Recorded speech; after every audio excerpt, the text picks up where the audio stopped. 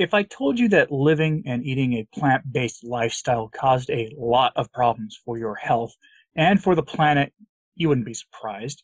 Most people who watch this channel live the carnivore or keto life and are on at least an animal based diet of some kind, if not fully carnivore. But the scientific data is coming out showing that being vegan isn't exactly a life plan for a long and optimal health, nor is it even being a plant based diet won't get you there, which we can define, by the way, as getting 80% of more or more of your caloric intake per day from plant sources. The evidence is showing that it is a recipe for disaster.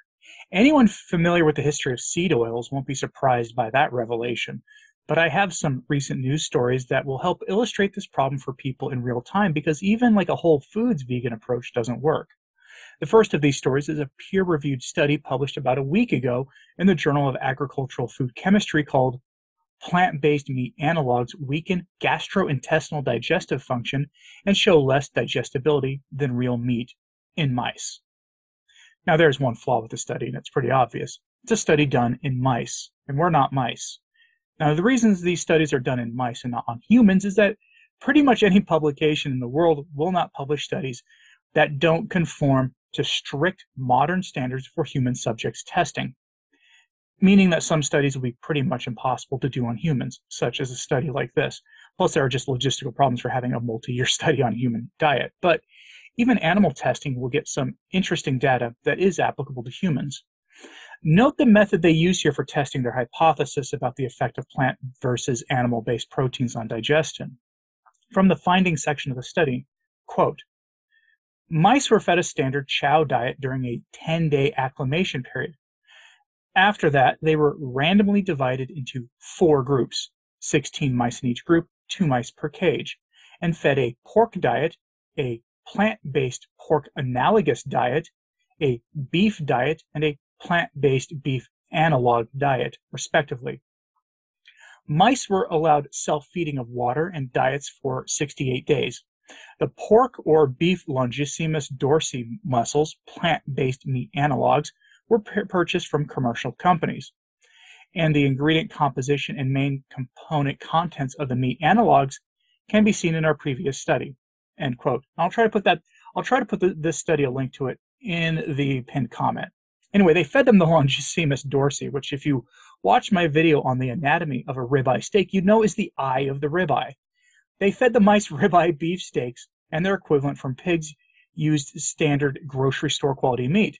It's honestly pretty incredible when you think about it. The researchers were practically comparing a carnivore diet or an animal based diet to the proposed plant based diet that our rulers want to impose on the rest of all of us. And with all that in mind, here's what the researchers found with their study plant based meats, think Beyond or Impossible burgers, are far less digestible and actually harm all the key biomarkers for gut health compared to test subjects given real animal proteins. In other words, plant based alternatives harm those who eat them. They're not very digestible, which means the nutrients that you think you're getting from those items aren't actually available to you, at least not in any real amount, which means the average person consuming them are kind of wasting their time at the very best. The fact that this was published in a major agriculture and food industry journal is a big victory for those of us who advocate for animal based diets of some kind or another. Don't be surprised that plant based proteins are less digestible. Most of us already know that plants are loaded with anti nutrients and other naturally occurring chemicals that make the nutrients found in these quote unquote foods barely accessible to human beings from the begin with, especially when you factor in the fact that Glucose competes with nearly every nutrient in plants for absorption by the body, and one thing that plants have to some degree in them are sugars, which is why the story here makes obvious sense to carnivores, but not to the general public, because the general public still believes good health equals eating your veggies. And it's interesting that a mainstream news outlet bothered to publish this. So here's your next one headline from the Washington Examiner Vegans are 43% more likely to suffer from broken bones. Study. Now, if you do even a simple Google search for vegan and broken bones, you'll find a lot of horror stories about vegans breaking their hips, which is one of the worst bone breaks imaginable. And advice will be found abundantly for how vegans can allegedly prevent this from happening to them. The best way, of course, is to eat an actually ancestrally appropriate diet of some kind that falls somewhere on what we tend to call the proper human diet spectrum. And I'm only like ambiguous about what I mean by that simply because I, there's a lot of debate in our circles about that. But vegans aren't all that interested in that, especially many of them say rather openly that they'd rather suffer from their dietary choices than do something as evil as eating the way an apex predator animal tends to eat. The study in question had huge institutional support, which is also just incredible. That doesn't happen often and is a sign of hope that we can successfully push back against this plant based lunacy being promoted by political actors. Political actors who know nothing about human health, or if they do, they're malevolent. From the article, quote, a study has found that vegans are 43% more likely to suffer a broken bone injury than those who eat meat. The study, published by BMC Medicine, used results from an EPIC Oxford study to examine more than 55,000 residents in the United Kingdom between 1993 and 2001, and then again in 2010. The study also used UK National Health Service records to collect data from 2016, according to a report. While it's the largest study to date on the relationship between bone fractures and diet, researchers said the results merely, quote, suggest that bone health in vegans requires further research. Vegans were especially at risk for hip fractures, with results showing they suffered 2.3 times more ca- cases than meat eaters. Vegetarians and pescatarians are also at a heightened risk, but not to the extent of veg- vegans. Within the study was a citation to a study published years earlier that pointed to vegetarians having lower bone density than those who eat meat. I know you're shocked by this as much as I am. Results were self reported and did not include the cause of fractures in their reports. Researchers speculated the causes could be a lack of calcium or protein in vegans' diets, or the fact that they tend to have lower body mass indexes. End quote. Look, most of this plant sourced calcium is just not bioavailable to humans for absorption by the body, or at least not in any good rate. And it's just a simple fact.